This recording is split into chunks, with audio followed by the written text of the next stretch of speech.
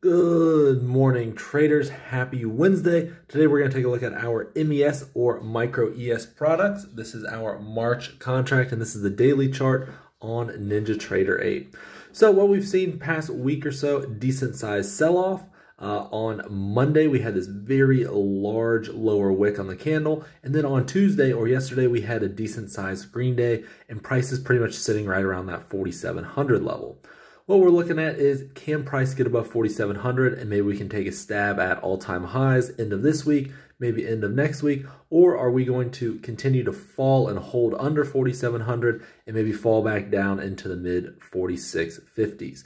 Uh, today we do have decent volume, definitely on the lower side, uh, but hopefully we can get a decent move up. As always, if you want some more information, there's a link down below in the description. Good luck, and I hope you have a great day, and thanks for watching.